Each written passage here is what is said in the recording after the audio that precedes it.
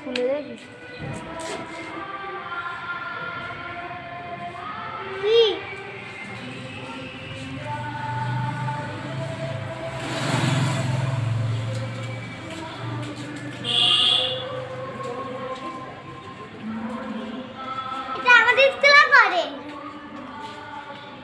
স্কুলে পড়ে?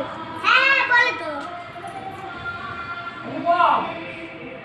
এইবার এইবার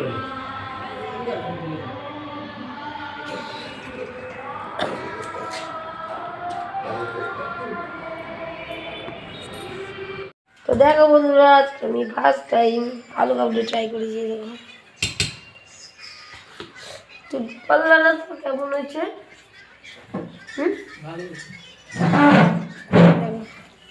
ফার্স্ট টাইম বাড়িতে আজকে আমি আলু কাবলি বানিয়েছি। রান্নার সময় তোমাদের দেখাতে পারলাম না লেট হয়ে গেছে, দুটো বেজে গেছে।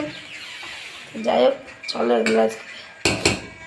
দোকানে খেলে তো এইটুকুনি দেয়, তাই নিজে বাড়িতে বানালাম আলু কাবলি সব কিছু দিয়ে খেয়ে দিয়ে তোমাদেরকে রিভিউটা অবশ্যই জানাব তোমার কাছে চলে হ্যালো বন্ধুরা, তো যাই হোক, কালকে না ভিডিওটা বেশি করতে পারিনি, অল্প একটুই তোমাদের সঙ্গে শেয়ার করেছিলাম ডাক্তারখানে গেছিলাম।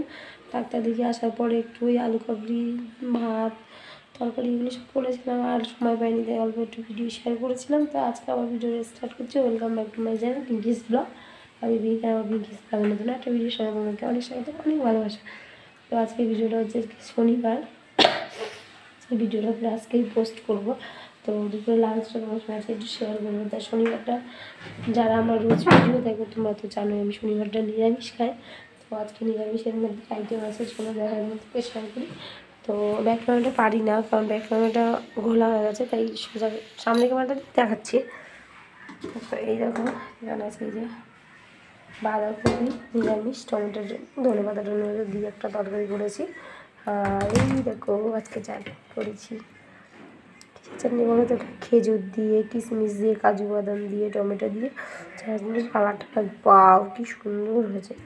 তো আর এখানে আছে ভেজ ডাল, গাজর, মটরশুঁটি দিয়ে যে ভেজ ডালটা হয় সেই ভেজ ডালই করেছি। আর ভাত করেছি আর বেশি কিছু করিনি আপাতত।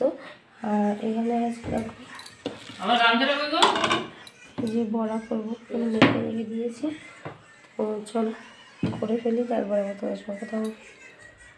তো এই যে এটা হচ্ছে বাঁধাকপিরই সব কিছু মেখে রেখে দিয়েছি। তখন আর করিনি শুধু গরম গরম করলে গরম গরম খাওয়ার টেস্টটাই না আলাদা। বেশ ভালো লাগে মানে গরম গরম দেখে কোনো একটা ভাজা পোড়া টেস্টটা আলাদা। সকালবেলা একটু অনেক দিনের একটু ইচ্ছা ছিল, তাই একটু পাতের চাল পাতের চাল একটু সানে ভাত করেছিলাম। আলু সিদ্ধ ঘি দিয়ে মাখা করে বেশ ভালোই লেগেছে খেতে। আর এখন আপাতত এটা করব। তো চলো, দেখতে থাকো তোমরা। কড়াইটা একটু গরম, তারপরে তেল দিয়ে এটা দিয়ে ভাজা করে নেব। তো চলো আবার আসছি। ততক্ষণ একটু ভাজা করে নিই, তারপরে আসছি। এটা কিন্তু বললামই আমি এগুলো ভাবছিলাম। তো এই দেখো মার্কার গরম এগুলো আমাদের তিনজনের হয়েও বেশি হবে যে ভাজা হয়ে গেছে। পকোড়া। আজকে লাঞ্চটা জমে যাবে। চলো, তোমার দাদাভাই গেছে স্নান করতে। স্নান করে আসো, তারপরে আমরা একসাথে ভাত খাব, ঠিক আছে? তারপরে আবার আসছি। তো, হ্যালো বন্ধুরা, দুপুরে খাওয়ার পরে আমি আর ভিডিও করতে পারিনি। খাওয়া দাওয়া করে একটু ঘুমিয়েছিলাম, আর এখন আমার ভাত বসিয়েছি তোমাদের দাদা যাবে নাই।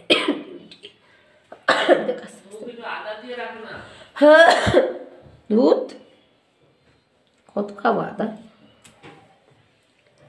আস্তে আস্তে পাগল হয়ে যাচ্ছে। তো যাই হোক, ছোটো একটা ভিডিও শেয়ার করলাম। তোমাদের সঙ্গে কেমন লেগেছে অবশ্যই কমেন্ট করো, ভালো লাগলে লাইক কমেন্ট শেয়ার করো। আজকে ভিডিওটা এখানে শেষ করে দিচ্ছি।